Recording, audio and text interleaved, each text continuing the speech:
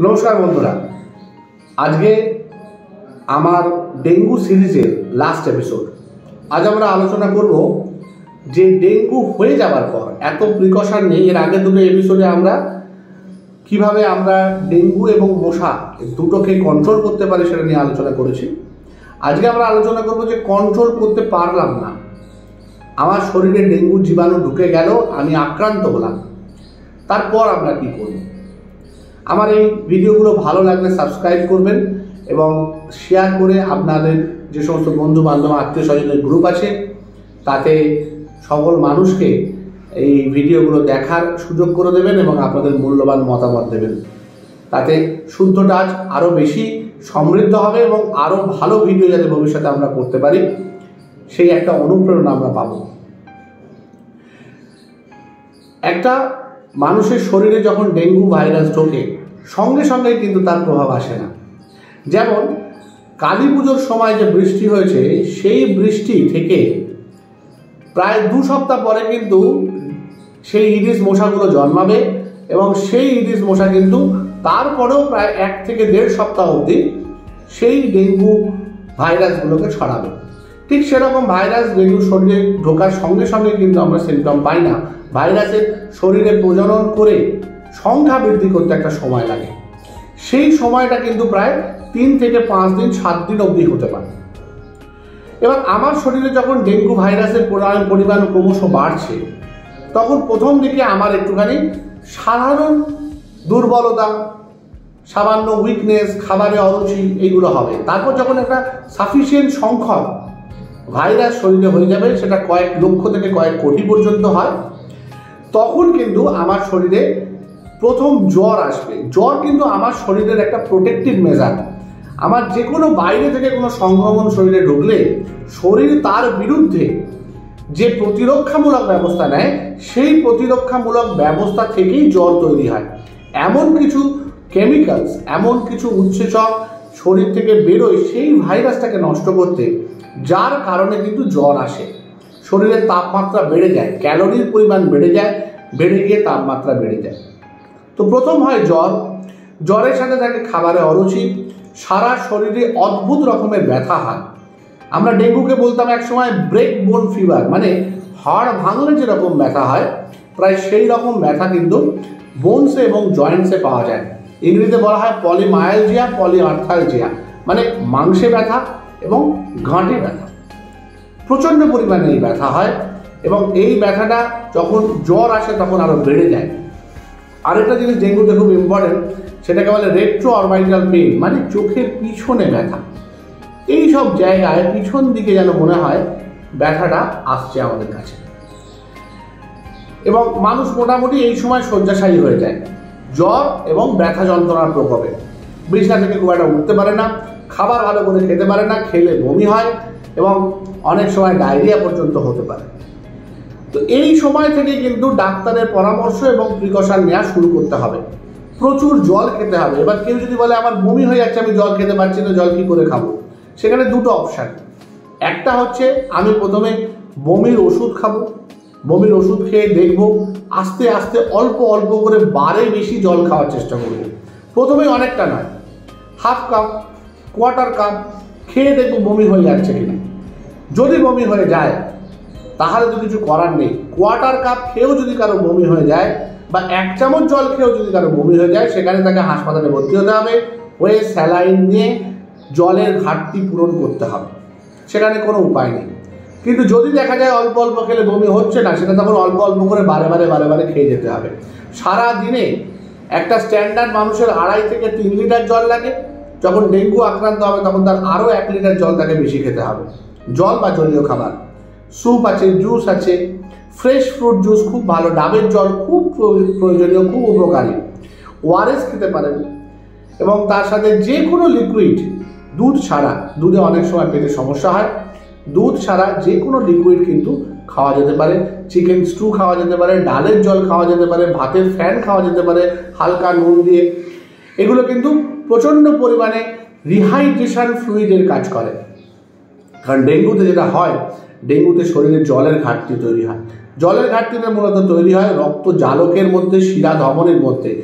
জলটা আস্তে আস্তে শরীরের থার্ড স্পেস বলে একটা জায়গা আছে যেখানে চলে যায়। সেখান থেকে মুখে জল জমতে পারে, পেটে জল জমতে পারে ইভেন হৃৎপিণ্ডের মধ্যেও জল জমে, যেটাকে আমরা বলি পেরিকার্ডিয়াল ইফিউশন তো এই জল জমাটা কিন্তু খুব খারাপ।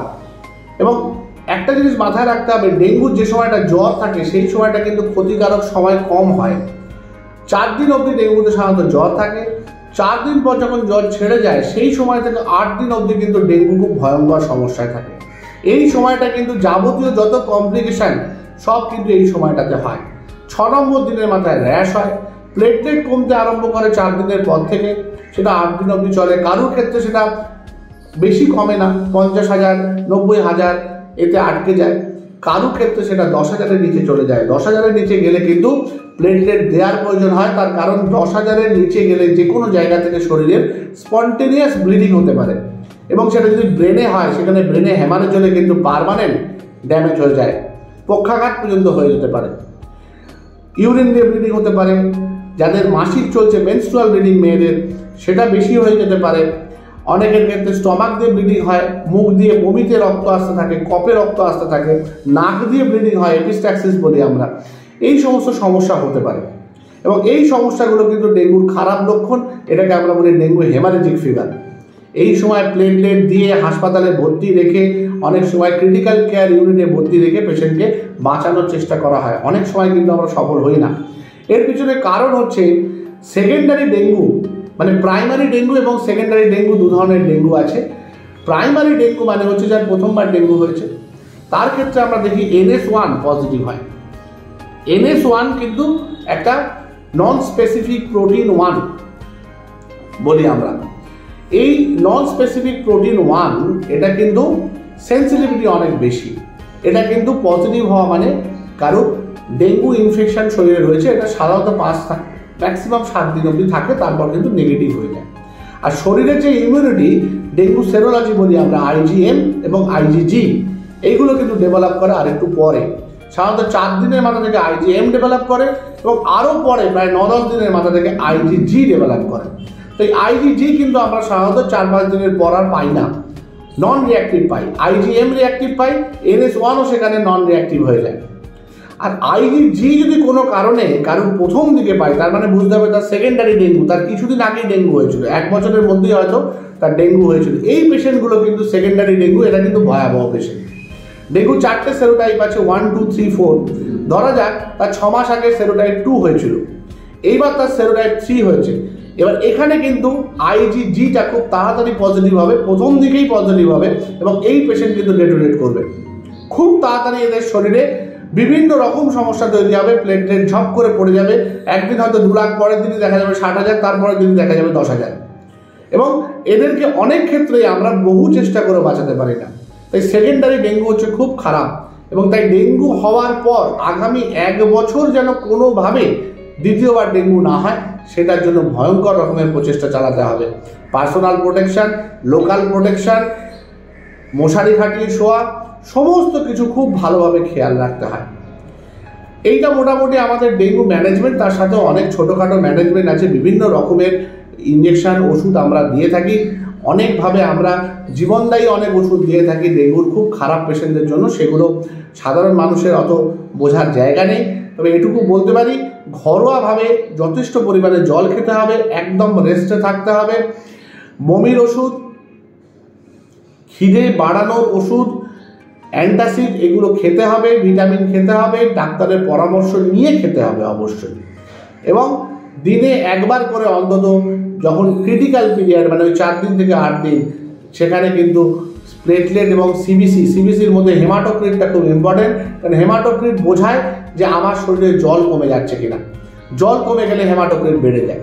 তো এই জিনিসগুলোকে আমাদের খেয়াল রেখে চলতে হবে, ডাক্তারের পরামর্শ অনুযায়ী টেস্ট করে করে তাকে দেখিয়ে দেখিয়ে তার পরামর্শ নিয়ে নিয়ে চলতে হবে।